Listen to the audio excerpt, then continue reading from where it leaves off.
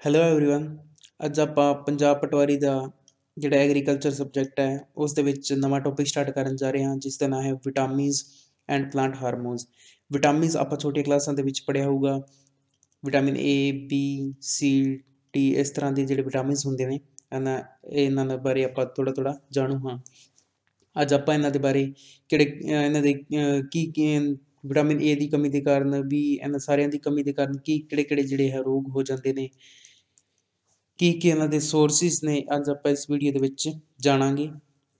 Vitamins ਆਪਣੀ ਜਿਹੜੀ body ਲਈ ਬਹੁਤ ਹੀ ਜਿਹੜੇ ਹੈ ਲਾਭਦਾਇਕ ਹੁੰਦੇ ਨੇ ਕਿਉਂਕਿ ਇਹ ਬੋਡੀ ਦੀ ਇਹ ਜਿਹੜੀ ਹੈ ਗਰੋਥ ਕਰਾਉਣ ਦੇ ਵਿੱਚ ਹੈਲਪਫੁਲ ਹੁੰਦੇ ਨੇ।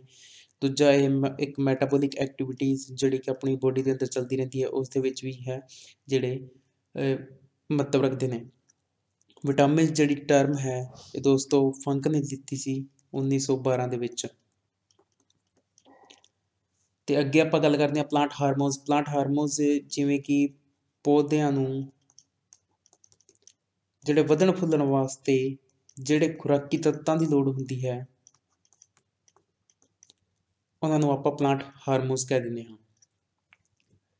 ਉਹ ਕਿਹੜੇ ਕਿਹੜੇ ਹਾਰਮੋਨਸ ਹੁੰਦੇ ਨੇ, ਕੀ ਕੀ ਉਹਨਾਂ ਦੇ ਫੰਕਸ਼ਨ ਨੇ, ਯਾਨੀ ਕਿ ਕੀ ਕੀ ਉਹ ਕੰਮ ਕਰਦੇ ਨੇ, ਇਹ ਸਾਰੇ ਆਪਾਂ ਇਸ ਵੀਡੀਓ ਦੇ ਵਿੱਚ ਜਾਣਾਂਗੇ। ਪਹਿਲਾ ਵਿਟਾਮਿਨਸ ਹੈ ਜੀ ਵਿਟਾਮਿਨ ਏ ਇਹ ਵਿਟਾਮਿਨ ਏ ਦਾ ਸਾਇੰਟੀਫਿਕ ਨੇਮ ਰੈਟੀਨੋਲ ਹੈ। ਵਿਟਾਮਿਨ ਏ ਦੀ ਕਮੀ ਦੇ ਕਾਰਨ ਨਾਈਟ ਬਲਾਈਂਡਨੈਸ ਜਾਂ ਜ਼ੀਰੋਪਥੈਲਮੀਆ ਜਿਹੜਾ ਹੈ, ਰੋਗ ਹੋ ਜਾਂਦਾ ਹੈ, ਜਿਹਨੂੰ ਆਪਾਂ ਅੰਧਰਾਤਾ ਰੋਗ ਵੀ ਕਹਿੰਦੇ ਹਾਂ। ਅੰਧਰਾਤਾ ਰੋਗ। ਅੰਧਰਾਤਾ ਰੋਗ ਵਿਟਾਮਿਨ ਏ ਦੀ ਕਮੀ ਦੇ ਕਾਰਨ ਹੁੰਦਾ ਹੈ। ਇਹਦੇ ਵਿੱਚ ਕੀ ਹੁੰਦਾ ਹੈ ਕਿ ਅੱਖ ਦੇ ਜਿਹੜੇ ਆਲੇ ਦੁਆਲੇ ਹੈ, ਉਹ ਰੈਡਿਸ਼ ਯਾਨੀ ਕਿ ਅੱਖ ਪੂਰੀ ਆਪਣੀ ਲਾਲ ਹੋ ਜਾਂਦੀ ਹੈ। ਜਾਂ ਫਿਰ ਇੱਕ ਦੂਜਾ ਇਹਦੇ ਵਿੱਚ ਕੀ ਹੁੰਦਾ ਹੈ ਕਿ ਅੱਖਾਂ ਦੇ ਜਿਹੜੇ ਅੱਗੇ ਹੈ, ਉਹ ਜਾਲਾ ਜਿਹਾ ਬਣਨਾ ਸਟਾਰਟ ਹੋ ਜਾਂਦਾ ਹੈ। ਇਹ ਸਾਰੇ ਜਿਹੜੇ ਲੱਛਣ ਹੈ, ਇਹ ਵਿਟਾਮਿਨ ਏ ਦੀ ਹੀ ਕਮੀ ਦੇ ਕਾਰਨ ਹੁੰਦੇ ਹੈ। ਕਿਹੜੇ ਕਿਹੜੇ ਸੋਰਸਿਸ ਨੇ, ਯਾਨੀ ਕਿ ਜਿਨ੍ਹਾਂ ਤੋਂ ਆਪਾਂ ਵਿਟਾਮਿਨ ਏ ਦੀ ਕਮੀ ਨੂੰ ਦੂਰ ਕਰ ਸਕਦੇ ਹਾਂ? ਪਹਿਲਾ ਹੈ ਮਿਲਕ ਦੂਜਾ ਕੈਰਟ ਗਾਜਰ, ਪਪੀਤਾ ਮੈਂਗੋ ਲੀਵਰ ਐਟਸੈਕਟਰਾ ਇਹ ਜਿਹੜੇ ਨੇ ਵਿਟਾਮਿਨ ਏ ਦੀ ਕਮੀ ਨੂੰ ਹੈ, ਦੂਰ ਕਰ ਸਕਦੇ ਨੇ। ਦੂਜਾ ਇਹਦੇ ਵਿੱਚ ਵਿਟਾਮਿਨ ਏ ਦੀ ਕਮੀ ਦੇ ਕਾਰਨ ਇੱਕ ਗਰੋਥ ਫੇਲੀਅਰ ਹੋ ਜਾਂਦਾ ਹੈ, ਯਾਨੀ ਕਿ ਜਿਹੜੀ ਹੈ ਗਰੋਥ ਇੱਕਦਮ ਜਿਹੜੀ ਹੈ ਰੁਕ ਜਾਂਦੀ ਹੈ। ਜਿਵੇਂ ਕੋਈ ਬੱਚੇ ਦੀ ਇਹ ਗਰੋਥ ਜਿਵੇਂ ਨਾਰਮਲ ਹੋ ਰਹੀ ਹੈ, ਉਹ ਇੱਕਦਮ ਇੱਕ ਸਟੇਜ ਦੇ ਉੱਤੇ ਆ ਕੇ ਰੁਕ ਗਈ, ਉਸ ਤੋਂ ਬਾਅਦ ਉਹ ਗਰੋ ਨਹੀਂ ਕਰਿਆ ਤੇ ਜਿਮ ਕੁਝ ਸਾਲਾਂ ਦਾ ਗੈਪ ਪਾ ਕੇ ਫਿਰ ਉਹ ਗਰੋ ਕਰਨ ਲੱਗੇ ਇਸ ਤਰ੍ਹਾਂ ਇਹ ਵਿਟਾਮਿਨ ਏ ਦੀ ਹੀ ਕਮੀ ਦੇ ਕਾਰਨ ਹੁੰਦਾ ਹੈ। ਨੈਕਸਟ ਵਿਟਾਮਿਨ ਦੀ ਆਪਾਂ ਗੱਲ ਕਰਦੇ ਹਾਂ ਵਿਟਾਮਿਨ B1 B1 ਸਾਇੰਟੀਫਿਕ ਨੇਮ ਇਹਦਾ ਥਾਇਮਿਨ ਹੈ। ਵਿਟਾਮਿਨ ਬੀ B1 ਦੀ ਕਮੀ ਦੇ ਕਾਰਨ ਬੇਰੀਬੇਰੀ ਰੋਗ ਹੋ ਜਾਂਦਾ ਹੈ। ਬੇਰੀਬੇਰੀ ਰੋਗ ਦੋਸਤੋ, ਆਪਾਂ ਕਈ ਵਾਰ ਦੇਖਿਆ ਹੋਊਗਾ ਕਿ ਇਨਸਾਨ ਦੇ ਜਿਹੜੇ ਸਰੀਰ ਦੇ ਉੱਤੇ ਚਮੜੀ ਬਿਲਕੁਲ ਨਾਮਾਤਰ ਜਿਹੜੀ ਹੈ, ਚਮੜੀ ਹੁੰਦੀ ਹੈ ਤੇ ਉਹਦੀ ਜਿਹੜੀ ਚਮੜੀ ਹੁੰਦੀ ਹੈ ਬਿਲਕੁਲ ਪਤਲੀ ਹੁੰਦੀ ਹੈ। ਤੇ ਉਹ ਜਿਹੜਾ ਸਰੀਰ ਆ, ਉਹਦਾ ਮਨੁੱਖ ਦਾ ਆਪਣੇ ਜਾਪਦਾ ਜਿਵੇਂ ਉਹ ਕੰਗਾਲ ਹੋਵੇ। ਉਹਦੇ ਸਰੀਰ ਦੇ ਉੱਤੇ ਬਿਲਕੁਲ ਵੀ ਚਮੜੀ ਨਹੀਂ ਹੁੰਦੀ। ਇਸ ਇਸ ਪਿਕਚਰ ਦੇ ਵਿੱਚ ਤੁਸੀਂ ਦੇਖ ਰਹੇ ਹੋਵੋਗੇ ਕਿ ਇਹ ਜਿਹੜੇ ਦੋ ਇਨਸਾਨ ਬੈਠੇ ਨੇ, ਇਹਨਾਂ ਦੇ ਸਰੀਰ ਦੇ ਉੱਤੇ ਬਿਲਕੁਲ ਵੀ ਚਮੜੀ ਹੈ ਨਹੀਂ ਜਾਂ ਨਾਮਤਰ ਜਿਹੜੀ ਹੈ, ਚਮੜੀ ਹੈ। ਕਿਹੜੇ ਕਿਹੜੇ ਜਿਹੜੇ ਸੋਰਸਿਸ ਨੇ ਜਿਹੜੇ B1 ਦੀ ਕਮੀ ਨੂੰ ਦੂਰ ਕਰ ਸਕਦੇ ਨੇ, ਉਹ ਰਾਈਸ ਪੋਲਿਸ਼ਿੰਗ ਯਾਨੀ ਕਿ ਚੌਲਾਂ ਦੀ ਜਿਹੜੇ ਛਿਲਕੇ ਹੁੰਦੇ ਨੇ ਲੀਫੀ ਵੈਜੀਟੇਬਲਸ ਪੱਤੇਦਾਰ ਸਬਜ਼ੀਆਂ ਫਿਸ਼ ਹੋ ਗਿਆ ਐਗ ਅੰਡਾ ਮੀਟ ਇਹ ਜਿਹੜੇ ਹੈ ਇਹ ਜਿਹੜੇ ਸੋਰਸਿਸ ਆ, ਇਹ ਵਿਟਾਮਿਨ B1 ਦੀ ਜਿਹੜੀ ਹੈ ਕਮੀ ਨੂੰ ਦੂਰ ਕਰ ਸਕਦੇ ਨੇ। ਨੈਕਸਟ ਵਿਟਾਮਿਨ ਦੀ ਗੱਲ ਕਰਦੇ ਹਾਂ ਵਿਟਾਮਿਨ B2 B2 ਦਾ ਜਿਹੜਾ ਹੈ ਸਾਇੰਟਿਫਿਕ ਨੇਮ ਰਾਈਬੋਫਲੇਵਿਨ ਹੈ। ਇਸ ਦੀ ਕਮੀ ਦੇ ਕਾਰਨ ਫਾਈਟੋਫੋਬੀਆ ਹੋ ਜਾਂਦਾ ਹੈ। ਫਾਈਟੋਫੋਬੀਆ ਇੱਕ ਡਿਜ਼ੀਜ਼ ਹੈ, ਜਿਸ ਜਿਸ ਦੇ ਵਿੱਚ ਜਿਹੜਾ ਮਨੁੱਖ ਨੂੰ ਜ਼ਿਆਦਾ ਧੁੱਪ ਲੱਗਦੀ ਹੈ, ਉਹ ਧੁੱਪ ਤੋਂ ਬਚਣ ਲਈ ਇੱਧਰ ਉੱਧਰ ਭੱਜਦਾ ਹੈ ਜਾਂ ਧੁੱਪ ਦੇ ਜਿਹੜਾ ਸਾਹਮਣੇ ਨਹੀਂ ਆਉਣਾ ਚਾਹੁੰਦਾ ਆਉਣਾ ਚਾਹੁੰਦਾ। ਇਸ ਡਿਜ਼ੀਜ਼ ਨੂੰ ਆਪਾਂ ਫਾਈਟੋਫੋਬੀਆ ਕਹਿ ਦਿੰਦੇ ਹਾਂ। ਤੁਸੀਂ ਇਸ ਨਾਮ ਦੇ ਵਿੱਚ ਵੀ ਜਿਹੜਾ ਹੈ ਇਹਦਾ ਤੰਤ ਜਿਹੜਾ ਹੈ ਲੱਭ ਸਕਦੇ ਹੋ ਕਿ ਫੋਟੋ ਮੀਨਸ ਲਾਈਟ ਦਾ ਜਿਹੜਾ ਇਫੈਕਟ ਹੋਊਗਾ ਇਸ ਦੇ ਵਿੱਚ। ਦੂਜਾ ਇਹਦੇ ਵਿੱਚ ਕੀ ਹੁੰਦਾ ਹੈ ਕਿ ਜਿਹੜੇ ਹੈ, ਇਹ ਬੁੱਲ ਜਿਹੜੇ ਹੈ ਸੁੱਜ ਜਾਂਦੇ ਹੈ। ਇਹ ਜਿਹੜੇ ਦੋ ਲੱਛਣ ਨੇ। ਬੀ ਵਿਟਾਮਿਨ B2 ਦੇ। ਕਿਹੜੇ ਕਿਹੜੇ ਸੋਰਸਿਸ ਨੇ ਜਿਨ੍ਹਾਂ ਤੋਂ ਵਿਟਾਮਿਨ B2 ਨੂੰ ਆਪਾਂ ਦੂਰ ਕਰ ਸਕਦੇ ਹਾਂ? ਮਿਲਕ ਪਾਊਡਰ ਫਿਸ਼ ਹੋ ਗਿਆ ਪਲਸਿਸ ਦਾਲਾਂ ਵਗੈਰਾ ਆਪਾਂ ਲੈ ਕੇ ਜਿਹੜਾ ਹੈ B2 ਦੀ ਕਮੀ ਨੂੰ ਆਪਾਂ ਦੂਰ ਕਰ ਸਕਦੇ ਹਾਂ। ਮੈਂ ਤੁਹਾਨੂੰ ਇਹਨਾਂ ਦਾ ਯਾਦ ਕਰਨ ਦਾ ਤਰੀਕਾ ਦੱਸ ਦਿੰਦਾ ਸਾਇੰਟੀਫਿਕ ਨੇਮਸ ਦਾ। B1 B1 1 ਦੇ ਉੱਤੇ ਤੁਸੀਂ ਇੱਕ ਡੰਡੀ ਖਿੱਚਦੇ ਹੋ, ਕਿਤੇ T T ਥਾਈਮਨ ਨੂੰ ਰਿਪਰੈਜ਼ੈਂਟ ਕਰੂਗਾ। ਤੁਸੀਂ ਇਸ ਤਰ੍ਹਾਂ ਇਹਨੂੰ ਯਾਦ ਕਰ ਲੈਣਾ ਹੈ। B2 ਦੇ ਵਿੱਚ 2 ਦੇ ਅੱਗੇ ਇੱਕ ਡੰਡੀ ਲਾ ਦਿਓ R ਇਹ ਰਾਈਬੋਫਲੇਵਿਨ ਇਹਨੂੰ ਰਿਪਰੈਜ਼ੈਂਟ ਕਰ ਰਹੇ ਹੈ। ਤੁਸੀਂ ਇਸ ਤਰ੍ਹਾਂ ਇਸ ਨੂੰ ਯਾਦ ਕਰ ਲੈਣਾ ਹੈ। ਅੱਗੇ ਨੈਕਸਟ ਵਿਟਾਮਿਨ ਦੀ ਗੱਲ ਕਰਦੇ ਹਾਂ ਵਿਟਾਮਿਨ B5 B5 ਦਾ ਨਾਮ ਨਾਇਸਿਨ ਔਰ ਨਿਕੋਟਿਨ ਅਮਾਈਡ ਹੈ। ਇਸ ਦੀ ਕਮੀ ਦੇ ਕਾਰਨ ਪਲੈਗਰਾ ਡਿਜ਼ੀਜ਼ ਜਾਂ ਬਲੈਕ ਟੰਗ ਕਾਲੀ ਜਿਬ ਹੋ ਜਾਂਦੀ ਹੈ। ਜਿਬ ਜਿਹੜੀ ਹੈ, ਪੂਰੀ ਬਲੈਕ ਹੋ ਜਾਂਦੀ ਹੈ, ਕਾਲੀ ਹੋ ਜਾਂਦੀ ਹੈ। ਇਸ ਪਿਕਚਰ ਦੇ ਵਿੱਚ ਤੁਸੀਂ ਦੇਖ ਰਹੇ ਹੋਗੇ ਕਿ ਇਹ ਜਿਹੜੀ ਸਕਿਨ ਦੇ ਉੱਤੇ ਹੈ ਕਿ ਯਾਨੀ ਕਿ ਫੇਸ ਦੇ ਉੱਤੇ ਉਹ ਪੂਰਾ ਰੈੱਡ ਕਲਰ ਦਾ ਤੇ ਜਿਬ ਜਿਹੜੀ ਹੈ ਬਲੈਕ ਕਲਰ ਦੀ ਹੋ ਚੁੱਕੀ ਹੈ। ਇਹਨੂੰ ਆਪਾਂ ਔਰ ਜਿਵੇਂ ਆਪਣੇ ਫੋੜੇ ਜਾਂ ਆਪਾਂ ਨੂੰ ਇਹ ਜਾਪਦਾ ਹੈ ਜਿਵੇਂ ਆਪਣੀ ਜਿਹੜੀ ਹਥੇਲੀ ਹੈ, ਹਥੇਲੀ ਦੇ ਉੱਤੇ ਜੇ ਇਸ ਦੀ ਬਿਮਾਰੀ ਦਾ ਅਟੈਕ ਹੋ ਜੇ ਤਾਂ ਆਪਾਂ ਨੂੰ ਇਹ ਜਾਪਦਾ ਜਿਵੇਂ ਉਹ ਹਥੇਲੀ ਆਪਣੀ ਸੜ ਗਈ ਹੋਵੇ ਜਾਂ ਜਿਸ ਬੰਦੇ ਨੂੰ B5 ਦੀ ਕਮੀ ਹੋਵੇ, ਉਸ ਦੇ ਗਲੇ ਦੇ ਜਿਹੜੇ ਆਲੇ ਦੁਆਲੇ ਇਹ ਨਿਸ਼ਾਨ ਜੇ ਪੈਣੇ ਸਟਾਰਟ ਹੋ ਜਾਂਦੇ ਨੇ। ਤੇ B5 ਨੂੰ ਮੈਂ ਤੁਹਾਨੂੰ ਯਾਦ ਕਰਨ ਦਾ ਤਰੀਕਾ ਦੱਸ ਦਿੰਦਾ B5 ਦੇ ਵਿੱਚ ਪੰਜ ਦੇ ਵਿੱਚ ਤੁਹਾਨੂੰ ਤਿੰਨ ਡੰਡੀਆਂ ਦਿਖ ਰਹੀਆਂ ਹੋਣਗੀਆਂ ਇਸ ਤਰ੍ਹਾਂ ਐਨ ਦੇ ਵਿੱਚ ਵੀ ਤਿੰਨ ਡੰਡੀਆਂ ਦਿਖ ਰਹੀਆਂ ਨੇ। ਤੁਸੀਂ ਇਸ ਤਰ੍ਹਾਂ ਇਸ ਨੂੰ ਯਾਦ ਕਰ ਲੈਣਾ ਹੈ। ਨੈਕਸਟ ਵਿਟਾਮਿਨ ਦੀ ਟਾਈਪ ਹੈ ਜੀ B6 6 ਨੂੰ ਤੁਸੀਂ ਜੇ ਉਲਟਾ ਕਰੋਗੇ ਤਾਂ ਪੀ ਬਣ ਜੂਗਾ ਇਸ ਤਰ੍ਹਾਂ ਇਹ ਪੀ ਨੂੰ ਰਿਪਰੈਜ਼ੈਂਟ ਕਰ ਰਿਹਾ ਤੁਸੀਂ ਇਸ ਨੂੰ ਪਾਇਰੋਡੋਕਸਿਨ ਦੇ ਨਾਂ ਤੇ ਜਿਹੜਾ ਹੈ ਯਾਦ ਕਰ ਲੈਣਾ ਹੈ। B6 ਦੀ ਕਮੀ ਦੇ ਕਾਰਨ ਡੀਜਨਰੇਸ਼ਨ ਆਫ ਨਰਵਸ ਯਾਨੀ ਕਿ ਨਰਵਸ ਜਿਹੜੀਆਂ ਹੈ, ਉਹ ਡੀਜਨਰੇਟ ਹੋ ਜਾਂਦੀਆਂ ਹੈ। ਤੁਸੀਂ ਇਸ ਤਰ੍ਹਾਂ ਦੀਆਂ ਜਿਹੜੀਆਂ ਨਰਵਸ ਦੇ ਵਿੱਚ ਪਿਕਚਰ ਦੇਖੀਆਂ ਹੋਈਆਂ ਹੋਣਗੀਆਂ ਕਿ ਇਸ ਤਰ੍ਹਾਂ ਜਿਹੜੇ ਨਰਵਸ ਹੁੰਦੇ ਨੇ, ਉਹ ਡੀਜਨਰੇਟ ਯਾਨੀ ਕਿ ਉਹਨਾਂ ਦਾ ਜਿਹੜਾ ਕਨੈਕਸ਼ਨ ਉਹ ਟੁੱਟ ਜਾਂਦਾ ਹੈ। ਕਿਹੜੇ ਕਿਹੜੇ ਸੋਰਸਿਸ ਨੇ ਜਿਨ੍ਹਾਂ ਤੋਂ B6 ਦੀ ਕਮੀ ਨੂੰ ਪੂਰਾ ਕੀਤਾ ਜਾ ਸਕਦਾ ਹੈ? ਉਹ ਹੈ yeast wheat germs legumes legumes ਉਹੀ ਦਾਲਾਂ ਹੋ ਗਈਆਂ, ਹਨਾ, ਫਲੀਦਾਰ ਸਬਜ਼ੀਆਂ। ਆਪਾਂ ਇਹਨਾਂ ਦੀ ਜਿਹੜੀ ਹੈ ਇਹਨਾਂ ਨੂੰ ਕੰਜ਼ਿਊਮ ਕਰਕੇ B6 ਦੀ ਕਮੀ ਨੂੰ ਜਿਹੜਾ ਆਪਾਂ ਦੂਰ ਦੂਰ ਕਰ ਸਕਦੇ ਹਾਂ। ਨੈਕਸਟ ਵਿਟਾਮਿਨ ਦੀ ਟਾਈਪ ਹੈ B12 B12 ਨੂੰ ਆਪਾਂ ਕੋਬਾਲਾਮਾਈਨ ਵੀ ਕਹਿ ਦਿੰਦੇ ਹਾਂ ਸਾਇੰਟਿਫਿਕ ਨੇਮ ਹੈ।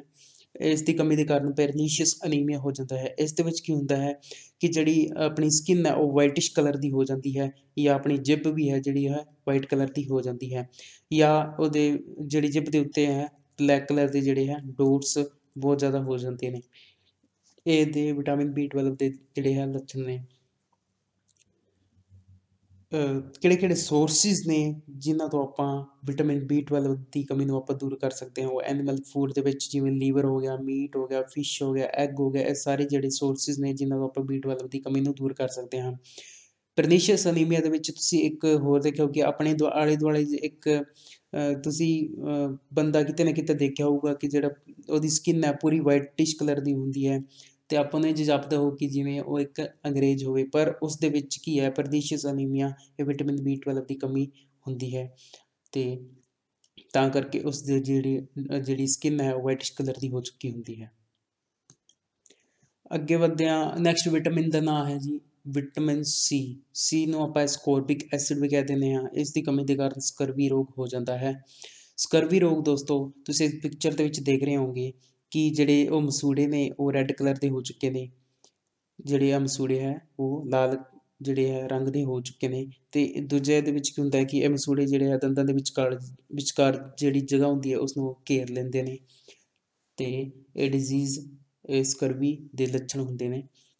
ਵਿਟਾਮਿਨ ਸੀ ਆਪਾਂ ਨੂੰ ਕਿੰਨਾ ਕਿੰਨਾ ਤੋਂ ਮਿਲ ਸਕਦਾ ਹੈ? ਉਹ ਹੈ ਜੀ ਆਵਲਾ ਆਵਲਾ, ਅਮਰੂਦ ਸਿਟਰਸ ਫਰੂਟਸ ਜਿਵੇਂ ਕਿੰਨੂ ਹੋ ਗਿਆ, ਮਾਲਟਾ ਹੋ ਗਿਆ ਹੈ ਨਾ ਇਹ ਜਿਹੜੀ ਹੈ, ਇਹਨਾਂ ਤੋਂ ਆਪਾਂ ਨਿੰਬੂ ਵੀ ਆਪਾਂ ਕਹਿ ਸਕਦੇ ਹਾਂ, ਨਿੰਬੂ। ਇਹਨਾਂ ਤੋਂ ਜਿਹੜਾ ਹੈ ਵਿਟਾਮਿਨ ਸੀ ਦੀ ਆਪਾਂ ਕਮੀ ਦੂਰ ਕਰ ਸਕਦੇ ਹਾਂ।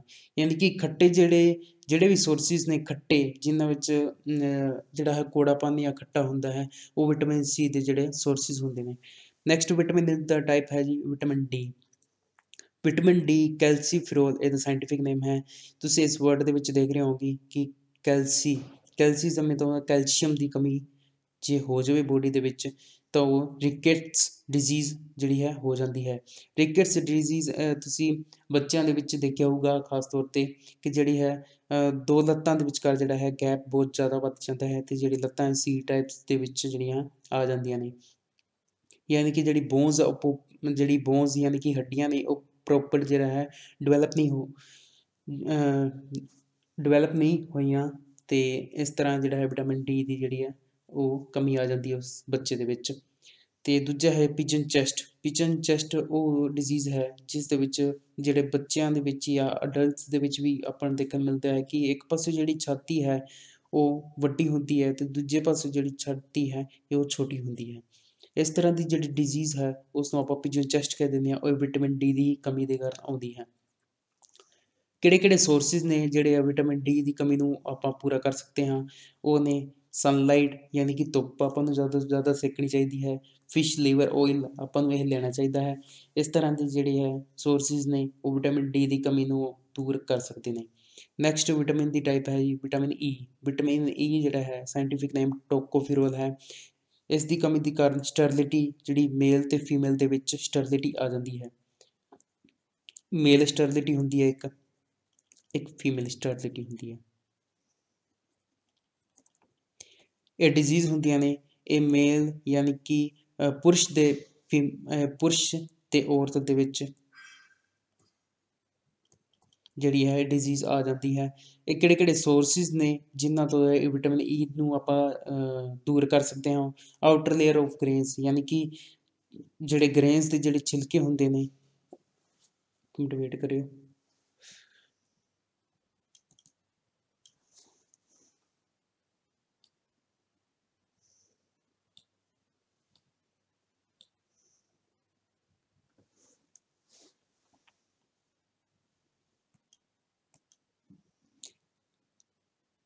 ਕਿਹੜੇ ਕਿਹੜੇ ਸੋਰਸਿਸ ਨੇ, ਉਹ ਨੇ ਆਊਟਰ ਲੇਅਰ ਆਫ ਗ੍ਰੇਨਸ ਯਾਨੀ ਕਿ ਛਿਲਕੇ ਗ੍ਰੇਨਸ ਦੇ ਜਿਹੜੇ ਛਿਲਕੇ ਆਪਾਂ ਜੇ ਆਪਾਂ ਕੰਜ਼ਿਊਮ ਕਰਾਂਗੇ ਤਾਂ ਵਿਟਾਮਿਨ ਈ e ਦੀ ਜਿਹੜੀ ਹੈ ਕਮੀ ਦੂਰ ਕਰ ਸਕਦੇ ਹਾਂ। ਕਿ ਛਿਲਕੇ ਜਿਵੇਂ ਕਣਕ ਕਣਕ ਦਾ ਆਟਾ ਹੁੰਦਾ ਹੈ, ਉਸ ਨੂੰ ਆਪਾਂ ਛਾਣਨ ਤੋਂ ਬਾਅਦ ਜਿਹੜਾ ਵੀ ਉਹਦੇ ਵਿੱਚ ਮਟੀਰੀਅਲ ਬਚਦਾ ਹੈ, ਜੇ ਆਪਾਂ ਕੰਜ਼ਿਊਮ ਕਰਾਂਗੇ ਤਾਂ ਵਿਟਾਮਿਨ ਈ e ਦੀ ਕਮੀ ਹੈ, ਦੂਰ ਕਰ ਕਰ ਸਕਦੇ ਹਾਂ।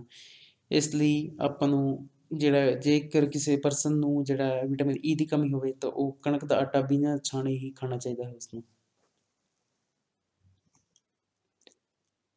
ਨੈਕਸਟ ਵਿਟਾਮਿਨ ਦੀ ਗੱਲ ਕਰਦੇ ਹਾਂ। ਵਿਟਾਮਿਨ ਐਚ ਐਚ ਇਹਦਾ ਸਾਇੰਟਿਫਿਕ ਨੇਮ ਬਾਇਓਟਿਨ ਹੈ। ਇਸ ਦੀ ਕਮੀ ਦੇ ਕਾਰਨ ਡਰਮੈਟਾਈਟਿਸ ਜਿਹੜੀ ਹੈ ਡਿਜ਼ੀਜ਼ ਹੋ ਜਾਂਦੀ ਹੈ। ਡਰਮੈਟਾਈਟਿਸ ਦੇ ਵਿੱਚ, ਇਸ ਪਿਕਚਰ ਦੇ ਵਿੱਚ ਦੇਖ ਰਹੇ ਹੋ ਕਿ ਇੱਕ ਦਾਦ ਟਾਈਪ ਜਿਹੜੀ ਹੈ ਡਿਜ਼ੀਜ਼ ਹੋ ਜਾਂਦੀ ਹੈ ਜਾਂ ਇਹਨੂੰ ਆਪਾਂ ਹੋਰ ਖੁਜਲੀ ਵੀ ਕਹਿ ਦਿੰਦੇ ਹਾਂ। ਯਾਨੀ ਕਿ ਜਿਹੜੇ ਰਿੰਗ ਟਾਈਪ ਜਿਹੜੀ ਡਿਜ਼ੀਜ਼ ਹੋ ਜਾਂਦੀ ਹੈ ਉਸ ਨੂੰ ਆਪਾਂ ਡਰਮੈਟਾਈਟਿਸ ਕਹਿ ਦਿੰਦੇ ਹਾਂ। ਨੈਕਸਟ ਵਿਟਾਮਿਨ ਦੀ ਗੱਲ ਕਰਦੇ ਹਾਂ ਕਿ ਵਿਟਾਮਿਨ ਕੇ ਵਿਟਾਮਿਨ ਕੇ ਇਹਦਾ ਜਿਹੜਾ ਹੈ ਸਾਇੰਟੀਫਿਕ ਨੇਮ ਫਾਈਲੋਕੁਇਨੋਨ ਹੈ।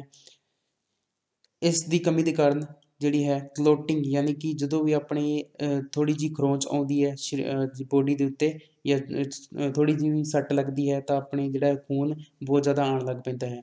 ਤੇ ਉਹ ਰੁਕਦਾ ਨਹੀਂ, ਦੋ, ਤਿੰਨ ਦਿਨ ਤੱਕ ਜਿਹੜਾ ਉਹ ਚੱਲਦਾ ਰਹਿੰਦਾ ਹੈ ਜਾਂ ਫਿਰ ਜਿਹੜਾ ਹੈ ਜਿਹਨੇ 24 ਘੰਟਿਆਂ ਦੇ ਵਿੱਚ ਵਿੱਚ ਜਿਹੜਾ ਕਲੋਟ ਹੋਣਾ ਸੀਗਾ, ਉਹ ਨਾ ਹੋ ਕੇ 48 ਘੰਟੇ ਵੀ ਉਹ ਖੂਨ ਜਿਹੜਾ ਹੈ ਵਹਿ ਰਿਹਾ ਹੈ। ਇਸ ਤਰ੍ਹਾਂ ਇਹਦੇ ਵਿੱਚ ਜਿਹੜਾ ਹੈ ਉਹ ਪਲੇਟਲੈਟਸ ਦੀ ਜਿਹੜੀ ਹੈ ਕਮੀ ਆ ਜਾਂਦੀ ਹੈ। ਜਿਹੜਾ ਬਲੱਡ ਨੂੰ ਕਲੋਟ ਕਰਾਉਣ ਦੇ ਵਿੱਚ ਹੈਲਪ ਕਰਦੇ ਨੇ ਉਹਨਾਂ ਦਾ ਨਾਮ ਹੈ ਪਲੇਟਲੈਟਸ ਕਲੋਟ ਯਾਨੀ ਕਿ ਖੂਨ ਜੰਮਣ। ਜਦੋਂ ਜਦੋਂ ਵੀ ਆਪਣੀ ਥੋੜੀ ਖਰੋਂਚ ਲੱਗਣ ਤੋਂ ਬਾਅਦ ਜਿਹੜਾ ਹੈ ਰੈੱਡ ਕਲਰ ਦੇ ਨਿਸ਼ਾਨ ਜਿਹੇ ਪੈ ਜਾਂਦੇ ਹਨ ਯਾਨੀ ਕਿ ਜਦੋਂ ਬਲੱਡ ਸੁੱਕ ਜਾਂਦਾ ਹੈ, ਉਹ ਜਿਹੜੇ ਨੇ, ਉਹ ਯਾਨੀ ਕਿ ਉੱਥੇ ਉਹ ਬਲੱਡ ਕਲੋਟਿੰਗ ਹੋ ਚੁੱਕੀ ਹੈ। ਜੇ ਉੱਥੇ ਬਲੱਡ ਕਲੋਟਿੰਗ ਨਾ ਹੋਵੇ ਤਾਂ ਉਸ ਜਿਹੜਾ ਪਰਸਨ ਨੂੰ ਵਿਟਾਮਿਨ ਕੇ ਦੀ ਕਮੀ ਹੋ ਸਕਦੀ ਹੈ। ਕਿਹੜੇ ਕਿਹੜੇ ਸੋਰਸਿਸ ਨੇ ਜਿਨ੍ਹਾਂ ਤੋਂ ਵਿਟਾਮਿਨ ਕੇ ਦੀ ਕਮੀ ਨੂੰ ਦੂਰ ਕਰ ਸਕਦੇ ਹਾਂ? ਪਹਿਲਾ ਕੋਲੀਫਲਾਵਰ ਯਾਨੀ ਕਿ ਫੁੱਲ ਗੋਭੀ ਆਪਾਂ ਵੱਧ ਤੋਂ ਵੱਧ ਖਾਣੀ ਚਾਹੀਦੀ ਹੈ। ਫੁੱਲ ਗੋਭੀ, ਲੀਵਰ ਲੀਵਰ ਆਇਲ ਕਹਿ ਸਕਦੇ ਹਾਂ, ਹਨਾ, ਤੇ ਸੋਇਆਬੀਨ, ਹਨਾ, ਸੋਇਆਬੀਨ ਦੀਆਂ ਬੜੀਆਂ ਵੀ ਆਉਂਦੀਆਂ ਨੇ ਤੇ ਬੀਜ, ਇਹਨਾਂ ਦੋਨਾਂ ਨੂੰ ਆਪਾਂ ਭਿਉਂ ਕੇ ਆ ਸਬਜ਼ੀ ਬਣਾ ਕੇ ਜਿਹੜਾ ਹੈ ਖਾ ਸਕਦੇ ਹਾਂ। ਨੈਕਸਟ ਵਿਟਾਮਿਨ ਹੈ ਫੋਲਿਕ ਐਸਿਡ ਇਹ ਫੋਲਿਕ ਐਸਿਡ ਦੀ ਕਮੀ ਦੇ ਕਾਰਨ ਅਨੀਮੀਆ ਹੋ ਜਾਂਦਾ ਹੈ। ਅਨੀਮੀਆ ਮੈਂ ਤੁਹਾਨੂੰ ਦੱਸਿਆ ਸੀ ਕਿ ਜਿਵੇਂ ਆਪਣੇ ਆਲੇ ਦੁਆਲੇ ਕੋਈ ਪਰਸਨ ਜਿਹੜਾ ਇਹ ਜਾ ਵੇਖਿਆ ਹੋਊਗਾ, ਜਿਸ ਦਾ ਜਿਸ ਦਾ ਸਰੀਰ ਜਿਹੜਾ ਪੂਰਾ ਚਿੱਟਾ ਹੋ ਚੁੱਕਿਆ ਹੁੰਦਾ ਹੈ, ਚਿੱਟਾ ਹੋ ਚੁੱਕਿਆ ਹੁੰਦਾ ਹੈ ਤੇ ਜਿਹੜਾ ਆਪਾਂ ਨੂੰ ਇੰਝ ਜਾਪਦਾ ਹੈ, ਜਿਵੇਂ ਉਹ ਪਰਸਨ ਜਿਹੜਾ ਹੈ ਅੰਗਰੇਜ਼ ਹੋਵੇ, ਹਨਾ? ਤਾਂ ਜੇ ਕਈ ਕਈ ਸੋਰਸਿਸ ਨੇ ਉਸ ਜਿਹੜੀ ਬਿਮਾਰੀ ਨੂੰ ਆਪਾਂ ਦੂਰ ਕਰਨ ਦੇ, ਉਹ ਪਾਲਕ ਆਪਾਂ ਨੂੰ ਖਾਣੇ ਚਾਹੀਦੀ ਹੈ ਕਰੋਂਡਾ ਜਾਂ ਗ੍ਰੀਨ ਲੀਫ ਵੈਜੀਟੇਬਲ ਸਾਰੀ ਪੱਤੇਦਾਰ ਸਬਜ਼ੀਆਂ ਜਿਹੜੀਆਂ ਆਪਾਂ ਨੂੰ ਖਾਣੀਆਂ ਚਾਹੀਦੀਆਂ ਨੇ। ਇੱਥੇ ਮੈਂ ਤੁਹਾਨੂੰ ਇੱਕ ਦੱਸ ਦਿੰਦਾ ਹਾਂ ਕਿ ਇੱਕ ਫੈਟ ਸੋਲਿਊਬਲ ਵਿਟਾਮਿਨਸ ਹੁੰਦੇ ਨੇ ਫੈਟ ਸੋਲਿਊਬਲ ਇੱਕ ਵਾਟਰ ਸੋਲੂਬਲ ਵਿਟਾਮਿਨਸ ਹੁੰਦੇ ਨੇ ਵਾਟਰ ਸੋਲੂਬਲ ਫੈਟ ਸੋਲੂਬਲ ਵਿੱਚ A C sorry A D E and K ਇਹ ਜਿਹੜੇ ਵਿਟਾਮਿਨਸ ਹੁੰਦੇ ਨੇ, ਇਹ ਫੈਟ ਸੋਲੂਬਲ ਹੁੰਦੇ ਨੇ, ਯਾਨੀ ਕਿ ਚਰਬੀ ਦੇ ਵਿੱਚ ਘੁਲਣਸ਼ੀਲ ਹੁੰਦੇ ਨੇ। ਤੇ ਪਾਣੀ ਦੇ ਵਿੱਚ ਜਿਹੜੇ ਘੁਲਣਸ਼ੀਲ, ਯਾਨੀ ਕਿ ਵਾਟਰ ਸੋਲੂਬਲ ਵਿਟਾਮਿਨਸ ਹੁੰਦੇ ਨੇ, ਉਹਨਾਂ ਦਾ ਨਾਮ ਹੈ ਬੀ ਐਂਡ ਸੀ ਇਹ ਜਿਹੜੇ ਦੋ ਵਿਟਾਮਿਨਸ ਹੁੰਦੇ ਨੇ, ਇਹ ਜਿਹੜੇ ਵਾਟਰ ਸੋਲੂ ਯਾਨੀ ਕਿ ਪਾਣੀ ਦੇ ਵਿੱਚ ਜਿਹੜੇ ਹੈ, ਛੇਤੀ ਘੁਲ ਜਾਂਦੇ ਨੇ। ਹੁਣ ਆਪਾਂ ਗੱਲ ਕਰਦੇ ਹਾਂ ਕਿ ਕਿਹੜੇ ਕਿਹੜੇ ਉਹ ਮਿਨਰਲਸ ਨੇ ਜਿਨ੍ਹਾਂ ਦੀ ਜਿਹੜੀ ਕਮੀ ਦੇ ਕਾਰਨ ਕਿਹੜੀ ਕਿਹੜੀ ਜਿਹੜੀ ਡਿਜ਼ੀਜ਼ ਜਾਂ ਡੈਫੀਸ਼ੀਐਂਸੀ ਸਿੰਪਟਮਸ ਜਿਹੜੇ ਕਿ ਲੱਛਣ ਆਪਾਂ ਨੂੰ ਦੇਖਣ ਨੂੰ ਮਿਲਦੇ ਨੇ। ਪਹਿਲਾ ਕੈਲ ਪਹਿਲਾ ਮਿਨਰਲ ਹੈ ਕੈਲਸ਼ੀਅਮ। ਕੈਲਸ਼ੀਅਮ ਦੀ ਕਮੀ ਦੇ ਕਾਰਨ ਜਿਹੜਾ ਹੈ ਰਿਕਟਸ ਡਿਜ਼ੀਜ਼ ਹੋ ਜਾਂਦੀ ਹੈ ਜਾਂ ਮਿਲਕ ਫੀਵਰ ਰਿਕਟਸ ਮੈਂ ਤੁਹਾਨੂੰ ਪਿਕਚਰ ਪਿਕਚਰ ਦੇ ਵਿੱਚ ਵਿਖਾਇਆ ਸੀ ਕਿ ਜਿਹੜੀਆਂ ਲੱਤਾਂ ਦੇ ਵਿਚਕਾਰ ਜਿਹੜਾ ਹੈ ਗੈਪ ਬਹੁਤ ਜ਼ਿਆਦਾ ਵੱਧ ਜਾਂਦਾ ਹੈ ਤੇ ਜਿਹੜੀ ਲੱਤਾਂ ਸੀ ਟੈਪਸ ਦੇ ਵਿੱਚ ਆ ਜਾਂਦੀਆਂ ਨੇ। ਇਸ ਤਰ੍ਹਾਂ ਦੀ ਜਿਹੜੀ ਡਿਜ਼ੀਜ਼ ਹੈ, ਉਹ ਕੈਲਸ਼ੀਅਮ ਦੀ ਕਮੀ ਦੇ ਕਾਰਨ ਆਉਂਦੀ ਹੈ। ਵਿਟਾਮਿਨ ਡੀ ਦੇ ਵਿੱਚ ਸੀ ਕੈਲਸੀਫਿਰੋਲ, ਇਹਦਾ ਸਾਇੰਟੀਫਿਕ ਨੇਮ ਸੀ ਕੈਲਸੀਫਿਰੋਲ। ਜਿਹੜਾ ਹੈ ਕੈਲਸ਼ੀਅਮ ਦੀ ਕਮੀ ਆਪਾਂ ਇਸ ਨੂੰ ਕਿਵੇਂ ਦੂਰ ਕਰ ਸਕਦੇ ਹਾਂ? ਸਨਲਾਈਟ ਵਗੈਰਾ ਲੈ ਕੇ, ਉਹ ਜਿਹੜੇ ਸੋਰਸਿਸ ਨੇ, ਉਹ ਆਪਾਂ ਇਸ ਕੈਲਸ਼ੀਅਮ ਦੀ ਕਮੀ ਨੂੰ ਦੂਰ ਕਰ ਸਕਦੇ ਹਾਂ। ਨੈਕਸਟ ਜਿਹੜਾ ਮਿਨਰਲਸ ਆਫ ਫਾਸਫੋਰਸ ਫਾਸਫੋਰਸ ਦੀ ਕਮੀ ਦੇ ਕਾਰਨ ਰਿਕਟਸ ਜਾਂ ਓਸਟੋਮਲੇਸ਼ੀਆ ਜਿਹੜਾ ਪਿੱਕਾ ਡਿਜ਼ੀਜ਼ ਹੋ ਜਾਂਦੀ ਹੈ। ਓਸਟੋਮਲੇਸ਼ੀਆ ਦਾ ਮਤਲਬ ਹੈ ਜੀ ਤੁਸੀਂ ਇਸ ਪਿਕਚਰ ਦੇ ਵਿੱਚ ਦੇਖ ਰਹੇ ਹੋ ਕਿ ਜਿਹੜੀ ਹੈ ਸਕਿਨ ਦੇ ਉੱਤੇ ਕਈ ਵਾਰੀ ਕੀ ਆ ਵਲ ਜੇ ਪੈ ਜਾਂਦੇ ਨੇ ਜਾਂ ਸਕਿਨ ਜਿਹੜੀ ਹੈ ਬਿਲਕੁਲ ਰਫ ਜੀ ਹੋ ਜਾਂਦੀ ਹੈ। ਉਸ ਜਿਹੜੀ ਡਿਜ਼ੀਜ਼ ਨੂੰ ਆਪਾਂ ਓਸਟੋਮਲੇਸ਼ੀਆ ਜਿਹੜੀ ਹੈ ਡਿਜ਼ੀਜ਼ ਕਹਿ ਦਿੰਦੇ ਆ ਉਹ ਫਾਸਫੋਰਸ ਦੀ ਕਮੀ, ਆਪਣੀ ਬੋਡੀ ਦੇ ਵਿੱਚ ਫਾਸਫੋਰਸ ਦੀ ਜੇਕਰ ਕਮੀ ਆ ਜਾਵੇ, ਤਾਂ ਇਹ ਜਿਹੜੇ ਹੈ ਡਿਜ਼ੀਜ਼ ਹੋ ਸਕਦੀਆਂ ਨੇ। ਜੇਕਰ ਆਪਣੀ ਬੋਡੀ ਦੇ ਵਿੱਚ ਆਇਰਨ ਦੀ ਕਮੀ ਆ ਜਾਵੇ, ਤਾਂ ਆਪਾਂ ਨੂੰ ਅਨੀਮੀਆ ਹੋ ਸਕਦਾ ਹੈ। ਜੇਕਰ ਜ਼ਿੰਕ ਦੀ ਕਮੀ ਆ ਜਾਵੇ, ਤਾਂ ਪੈਰਾਕੈਟੋਸਿਸ ਹੋ ਜਾਂਦਾ ਹੈ। ਜ਼ਿੰਕ ਦੀ ਕਮੀ ਜ਼ਿਆਦਾਤਰ ਪੋਲਟਰੀ ਦੇ ਵਿੱਚ ਆਉਂਦੀ ਹੈ। ਪੋਲਟਰੀ ਦੇ ਵਿੱਚ ਆਉਂਦੀ ਹੈ, ਜਿੱਥੇ ਮੁਰਗੀਆਂ ਵਗੈਰਾ ਆਪਾਂ ਰੱਖਦੇ ਹਾਂ। ਉਹਨਾਂ ਵਿੱਚ ਕੀ ਹੁੰਦੇ, ਜਿਹੜੇ ਚੂਚੇ ਹੁੰਦੇ ਨੇ, ਉਹਨਾਂ ਦੇ ਜਿਹੜੇ ਲੈਗਸ ਹੁੰਦੇ ਨੇ, ਉਹ ਪੂਰੀ ਤਰ੍ਹਾਂ ਕੰਮ ਨਹੀਂ ਕਰਦੇ ਅਤੇ ਉਹ ਜਿਹੜੇ ਹੈ, ਬਿਲਕੁਲ ਡੈਮੇਜ ਹੋ ਚੁੱਕੇ ਹੁੰਦੇ ਨੇ। ਇਸ ਜਿਹੜੇ ਹੈ, ਉਹ ਨਾ ਤਾਂ ਉੱਠ ਸਕਦੇ ਹੈ, ਨਾ ਜਿਹੜਾ ਹੈ ਇੱਧਰ ਉੱਧਰ ਤੁਰ ਸਕਦੇ ਹੈ। ਇਸ ਤਰ੍ਹਾਂ ਦੀ ਜਿਹੜੀ ਡਿਜ਼ੀਜ਼ ਆ, ਉਹ ਜ਼ਿੰਕ ਦੀ ਕਾਰਨ ਹੁੰਦੀ ਹੈ। ਮੈਂਗਨੀਜ਼ ਮੈਂਗਨੀਜ਼ ਦੀ ਕਮੀ ਦੇ ਕਾਰਨ ਜਿਹੜਾ ਹੈ ਪੈਰਾਸਿਸ ਹੋ ਜਾਂਦਾ ਹੈ। ਪੈਰਾਸਿਸ ਵੀ, ਇਸ ਤਰ੍ਹਾਂ ਦੀ ਜਿਹੜੀ ਹੈ ਮਿਲਦੀ ਜੁਲਦੀ ਇੱਕ ਡਿਜ਼ੀਜ਼ ਹੈ, ਉਹ ਪੋਲਟਰੀ ਦੇ ਵਿੱਚ ਵੀ ਆਪਾਂ ਨੂੰ ਦੇਖਣ ਨੂੰ ਮਿਲਦੀ ਹੈ। ਉਸ ਤੋਂ ਬਾਅਦ ਆਇਓਡੀਨ ਆਇਓਡੀਨ ਦੀ ਕਮੀ ਦੇ ਕਾਰਨ ਗੋਇਟਰ ਹੋ ਜਾਂਦਾ ਹੈ। ਤੁਸੀਂ ਦੇਖਿਆ ਹੋਊਗਾ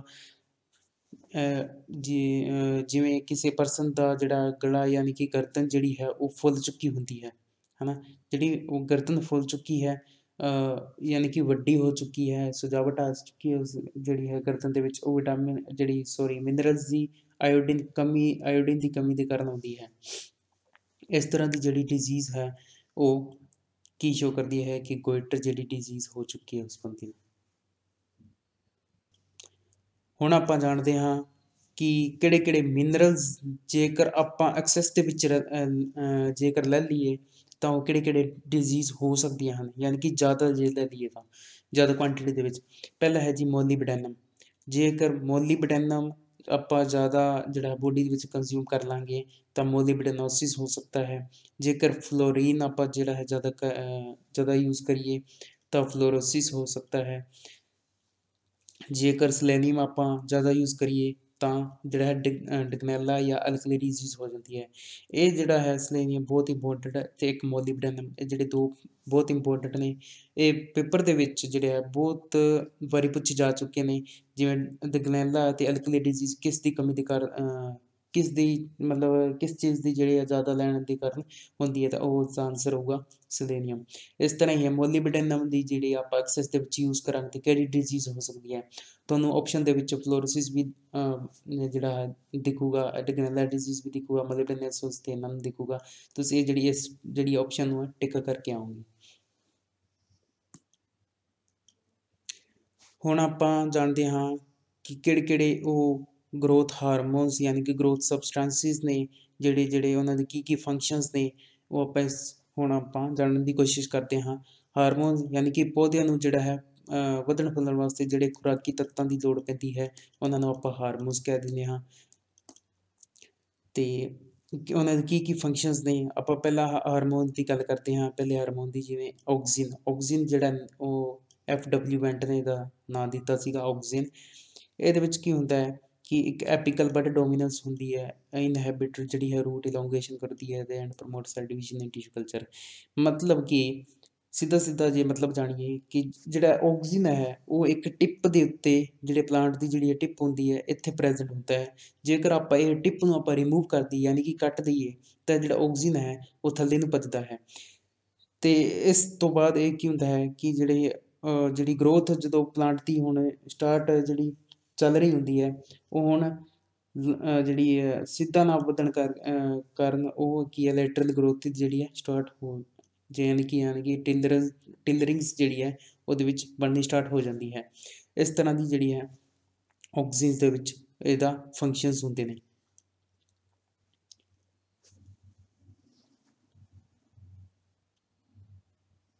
ਟਿਸ਼ੂ ਕਲਚਰ ਜਿਹੜਾ ਹੈ ਟਿਸ਼ੂ ਕਲਚਰ ਇੱਕ ਪੈਟਰੀ ਜਿਵੇਂ ਸੈਲਸ ਹੁੰਦੇ ਨੇ ਛੋਟੇ ਛੋਟੇ, ਉਹਨਾਂ ਨੂੰ ਇੱਕ ਪੈਟਰੀ ਡਿਸ਼ ਪੈਟਰੀ ਡਿਸ਼ ਹੁੰਦੀ ਹੈ, ਇੱਕ ਜਿਵੇਂ ਪਲੇਟ ਹੁੰਦੀ ਹੈ, ਉਹਦੇ ਵਿੱਚ ਜਿਹੜੇ ਛੋਟੇ ਛੋਟੇ ਆ ਸੈਲਸ ਨੂੰ ਇਨਸਰਟ ਕੀਤਾ ਜਾਂਦਾ ਹੈ ਤੇ ਉਹਨਾਂ ਨੂੰ ਇੱਕ ਆਰਟੀਫੀਸ਼ੀਅਲ ਮੀਡੀਆ ਪ੍ਰੋਵਾਈਡ ਕੀਤਾ ਜਾਂਦਾ ਹੈ।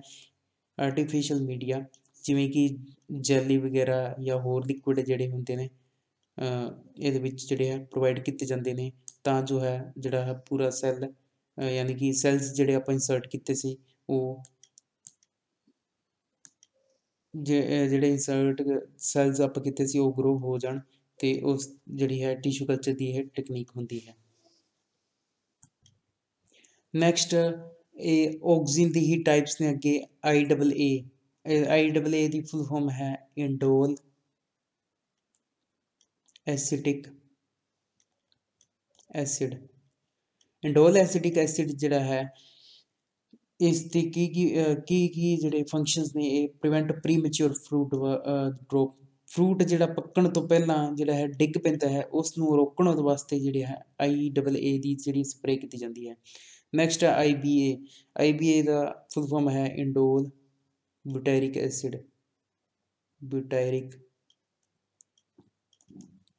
ਐਸਿਡ ਇਹ ਇਹ ਕੀ ਕਰਦਾ ਹੈ ਕਿ ਰੂਟ ਜਿਹੜੀ ਫੋਰਮੇਸ਼ਨ ਦੇ ਵਿੱਚ ਹੈਲਪ ਕਰਦਾ ਹੈ, ਜਿਵੇਂ ਕਿ ਇਹ ਪਲਾਂਟਸ ਤੁਸੀਂ ਦੇਖ ਰਹੇ ਹੋ ਕਿ ਇਹਦੇ ਵਿੱਚ ਜਿਹੜੀਆਂ ਰੂਟਸ ਹੁੰਦੀਆਂ ਨੇ, ਜੇਕਰ ਆਪਾਂ ਇਹਦੀ ਇਨਕੋਰਪੋਰੇਸ਼ਨ ਸਪਰੇ ਕਰਾਂਗੇ, ਤਾਂ ਇਹ ਰੂਟਸ ਦੇ, ਯਾਨੀ ਕਿ ਜਿਹੜਾ ਉਹਦਾ ਰੂਟਸ ਜਿਹੜਾ ਸਿਸਟਮ ਉਹਨੂੰ ਡਿਵੈਲਪ ਕਰੂਗਾ, ਯਾਨੀ ਕਿ ਜਿਹੜੀਆਂ ਰੂਟਸ ਉਹਨੂੰ ਵਧਾ ਦੂਗਾ। ਤੇ ਉਸ ਦੇ ਕਾਰਨ ਕੀ ਹੈ ਪਲਾਂਟਸ ਦੇ ਵਿੱਚ ਲੋਜਿੰਗ ਨਹੀਂ ਹੋਊਗੀ, ਯਾਨੀ ਕਿ ਪਲਾਂਟ ਜਿਹੜਾ ਹੈ, ਉਹ ਡਿੱਗੇਗਾ ਨਹੀਂ। ਨੈਕਸਟ ਹੈ naphthalene acidic acid. Naphthalene naphthalene acetic acid. ਇਹ, ਇਹਦਾ ਕੰਮ ਹੁੰਦਾ ਹੈ ਕਿ ਇਹ fruit thinner prevent fruit drop, ਕਿ ਇਹ ਫਰੂਟ ਨੂੰ ਜਿਹੜਾ ਡਿੱਗਣ ਤੋਂ ਬਚਾਉਂਦਾ ਹੈ। ਇਹ ਜਿਹੜਾ ਫਰੂਟ ਕੋਈ ਪੱਕਣ ਤੋਂ ਬਾਅਦ ਜਿਹੜਾ ਡਿੱਗ ਜਿਹੜਾ ਹੈ, ਆਪਣੇ, ਜਾਂ ਪੱਕਣ ਤੋਂ ਪਹਿਲਾਂ ਜਿਹੜਾ ਆਪਣੇ ਆਪ ਡਿੱਗ ਪੈਂਦਾ ਉਸ ਨੂੰ ਬਚਾਉਣ ਦੇ ਲਈ ਇਹ ਨੈਪਥਲਿਨ ਐਸਿਡਿਕ ਐਸਿਡ ਦੀ ਜਿਹੜੇ ਹੈ ਸਪਰੇਅ ਕੀਤੀ ਜਾਂਦੀ ਹੈ। ਉਸ ਤੋਂ ਬਾਅਦ ਹੈ 24D 24D ਆਪਾਂ ਨੇ ਕੁਝ ਜਿਹੜੇ ਮੇਰੇ ਦੋਸਤ ਨੇ, ਉਹਨੇ ਸੁਣਿਆ ਵੀ ਹੋਊਗਾ ਜਾਂ ਯੂਜ਼ ਕੀਤੀ ਹੋਊਗੀ 24D ਆਪਾਂ ਐਜ਼ ਅ ਹਰਬੀਸਾਈਡ ਵੀ ਯੂਜ਼ ਕਰ ਕਰਦੇ ਹਾਂ। ਯਾਨੀ ਕਿ ਘਾਹ ਵਗੈਰਾ ਨੂੰ ਜਿਹੜਾ ਹੈ ਮਾਰਨ ਵਾਸਤੇ ਜਿਹੜਾ ਹੈ ਆਪਾਂ ਯੂਜ਼ ਕਰਦੇ ਹਾਂ।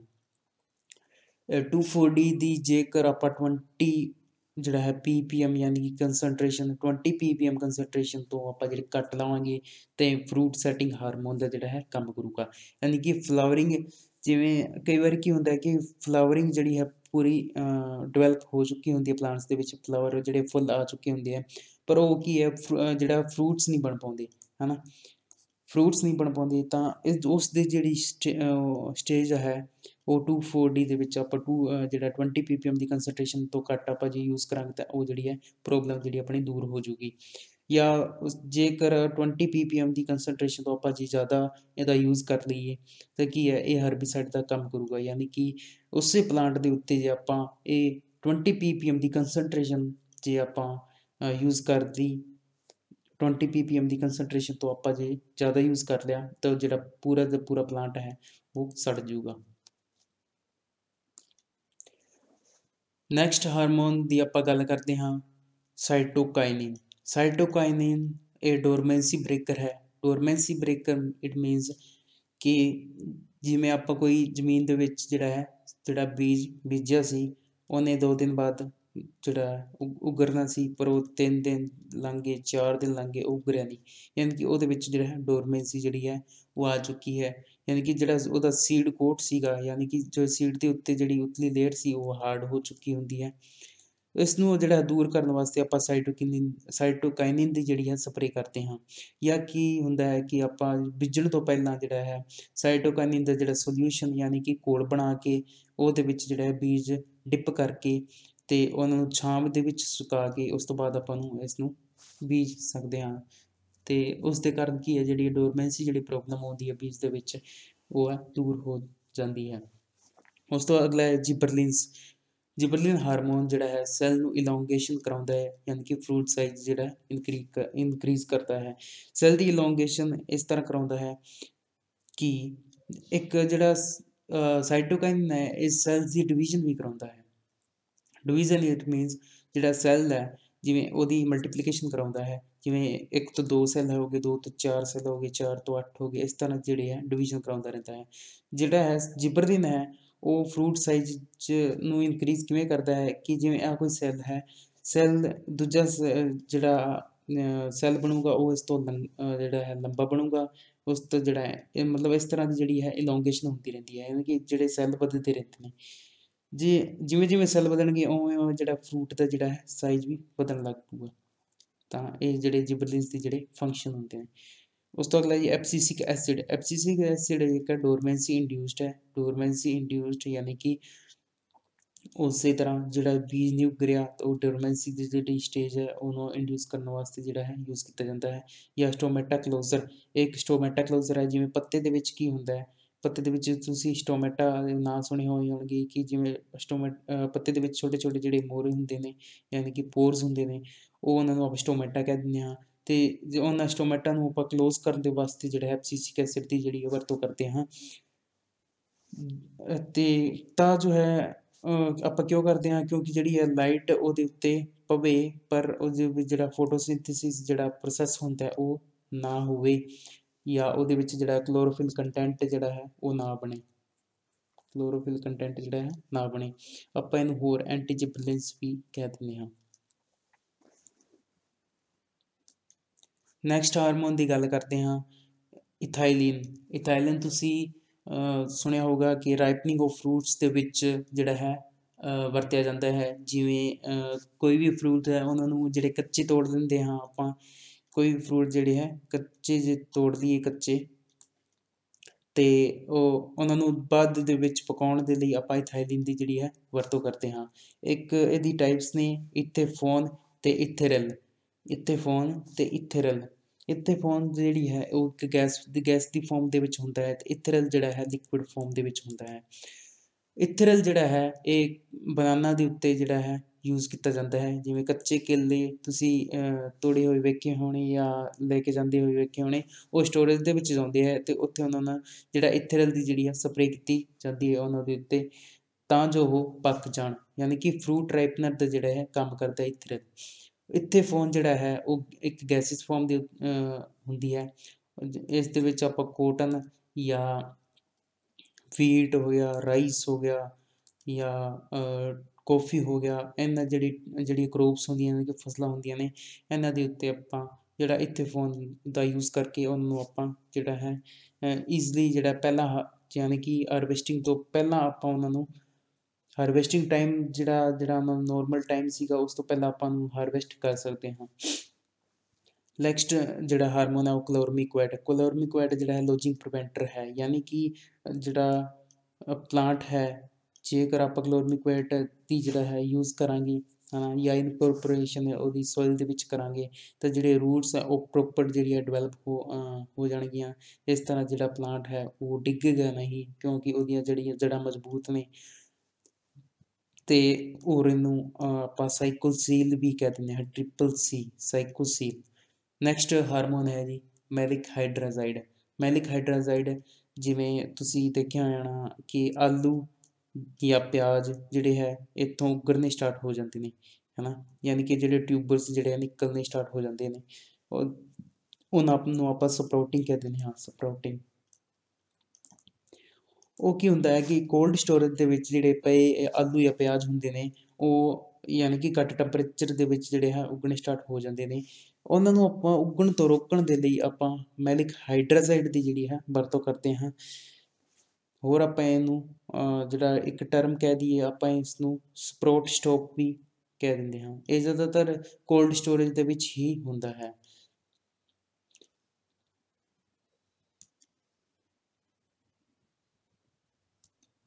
ਉਮੀਦ ਕਰਦਾ ਹਾਂ ਅੱਜ ਦਾ ਲੈਕਚਰ ਜਿਹੜਾ ਹੈ ਤੁਹਾਨੂੰ ਸਮਝ ਆ ਆ ਗਿਆ ਹੋਵੇਗਾ। ਮਿਲਦੇ ਹਾਂ ਇੱਕ ਨਵੀਂ ਵੀਡੀਓ ਦੇ ਨਾਲ। ਉਦ ਤੱਕ ਲਈ ਆਪਦਾ ਅਤੇ ਆਪਦੇ ਆਲੇ ਦੁਆਲੇ ਜਿਹੜਾ ਜਿਹੜਾ ਹੈ ਧਿਆਨ ਰੱਖੋ। Take care. Thank you.